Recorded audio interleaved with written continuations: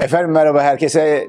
Çin'in başkentinden Beijing'den ee, bir günlük aramız vardı. Ee, onda da e, sizle beraber olamadık ama haberlerimizi biriktirdik. Bugün karşınızdayız. Evet aslında Türkiye'de de e, durum e, pek de farklı değilmiş. Hatta biraz daha belki yoğun. Çünkü hastanelerde baya bir kalabalıklaşma olduğunu hatta yoğun bakımda e, servislerde yoğun bakım servislerinde yatan hastaların sayılarının arttığını öğrendik haberlerden. Çin'de de durum e, aynı. Aslında yani bu kadar büyük bir durum yok. E, ziyaretler yani e, kliniklere yapılan ziyaretlerin sayısında azalma olmuş. Covid vakalarında da azalma var olmuş. Çin'in yetkilileri hafta sonu bu açıklamaları yaptılar. Şu anda en önemli e, vakalar solunum yolu va- vakaları. Bizim de Türkiye'deki e, durumdaki gibi influenza vakaları Çin'de de artış göstermiş ama koronavirüs vakalarında da büyük bir düşüş varmış. Aynı zamanda yetkililer bir açıklama daha yaptılar. Bahar şenliği yaklaşıyor. Çinler için bu çok çok önemli. Sadece Çin'deki Çinler için değil, dünyadaki bütün Çinler için önemli. Çünkü yani hakikaten bununla ilgili haberler yapacağım size. Milyonlarca insan bir yerden kalkıyor bir yere gidiyor. Dolayısıyla bu kadar büyük bir e, trafiğin olduğu bir dönemde solunum yolu hastalıklarının da e, geçişi, e, insanların birbirlerini e, birbirlerine bulaştırmasını ihtimali artacak diye uyarıyorlar. O yüzden daha dikkatli olunması gerektiğini söylemişler ve aşılanmanın da altını çizmişler.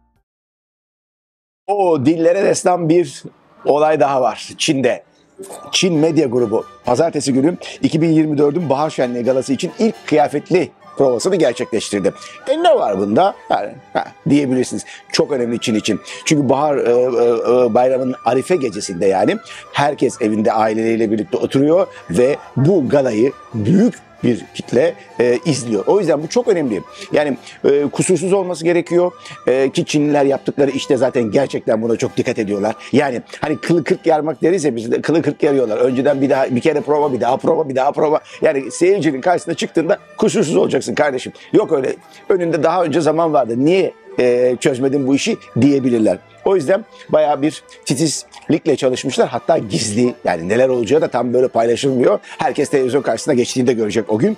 E, notlara bakıyorum 4 saat sürmesi bekleniyormuş bu galanın. Ee, Çin'in ünlü isimleri gelmişler, provaya katılmışlar. Ee, geleneksel unsurlar ve sanat teknolojide harmanlanacakmış ki geçen sene de böyle olmuştu. Galayı geçen sene ben Türkiye'de haberleştirmiştim arkadaşlarla beraber ee, ve internetten izlemiştik. Bu sene inşallah burada evimden izleme imkanı bulurum. Bakalım bu bu meşhur gala nasıl bir gala olacak? Chunwan olarak biliniyormuş bu gala. Acaba doğru söyledim mi? İyi hocam beni onayladı bu sefer beğendi. Chunwan. Chunwan olarak biliniyormuş dediğim gibi gala 1983'ten beri her yıl canlı olarak yayınlanıyormuş Çin'de ve Çin'deki geleneksel Çin Ay Yeni Yılı kutlamaları için de önemli kültürel bir sembol olarak görülüyormuş. Bu yılki etkinlik biraz önce de söylediğim gibi 9 Şubat yani Arife Gecesi. Ve gelelim biraz lay lay lom haberlere. en sevdiğim haberler. Hayatı kolaylaştıran, güzelleştiren haberler. Diyebilirsiniz ki ya Çin'de hep ciddi şeyler mi oluyor? Yani bunlar hep böyle bir şeyleri icat ediyor, bir şeyleri buluyorlar, uzaya gidiyor. E, tabii ki onlar oluyor ama hayat da akıyor Çin'de. E, Nedimelikle ilgili bir haber vardı. E, Çinlerin çok kullandığı sosyal medya platformu Baidu'da e, gördüm ve o haberi aldım. Çin'de yeni bir meslek grubuymuş bu Nedime. Yani evlen, hani bizde düğünlerde var ya damadın sadıcı olur, gelinin nedimesi olur. Ama gelin, Çin o kadar büyük bir ülke ki bir yerden mesela memleketi diyelim ki e, çok uzak bir yerde Beijing'e. Fakat Beijing'de evlenecek. E, arkadaşların hepsi memleketinde kalmış. E, Nedime'ye ihtiyacı var. E, Nedime de gelinin en yakın arkadaşı olur. Diyorlarmış ki o zaman bu hizmeti biz size karşılayalım. Yani yeni bir iş, e, bir sektör. Hatta bir reklamı var Nedime'nin. Nedime diyor ki işe alınmaya müsaitim, ortalama bir görünüme sahibim. Gelinin en iyi arkadaşı, sekreteri ve bekçisi, asistanı olabilirim. Şurası çok önemli. E, diyor ki e, gelin asla ilgi çekmem. Yani gelininden daha fazla ilgi çekmem. Bu çok önemli. Düşünsenize Nedime taş gibi çok güzel. Gelin yanında sönük kalıyor falan. Hiçbir gelin bunu istemez. Özellikle yazmış. Ee, gelin Nedimeler ne yapıyorlarmış? Ee, bütün eşyalarını taşıyorlar. Gelinin işte normal Nedime ne yaparsa e, hepsini yapıyorlar. Fotoğrafları çektiriyorlar. Efendim değerli eşyaları taşıyorlar. O bizdeki gibi. Sizde altın falan takılıyor mu? Yani düğünde geline altın takarlar mı?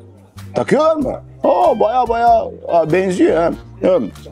Altınları falan taşıyormuş Nedimeler yani. Bütün e, hizmetini yapıyorlar. Ve bunun için üst düzey bir Nedime düğün başına 300 yuanle 1000 yuan arasında para alıyormuş. E, şimdi bu haberleri verdikten sonra büyük ihtimalle belki dünya o kadar küçük bir dünya ki e, belki bizde de böyle o bu, bu tür meslekler çıkabilir. Yarın haberleri bugünkülerden daha güzel olsun. Görüşmek üzere. Allah'a ısmarladık.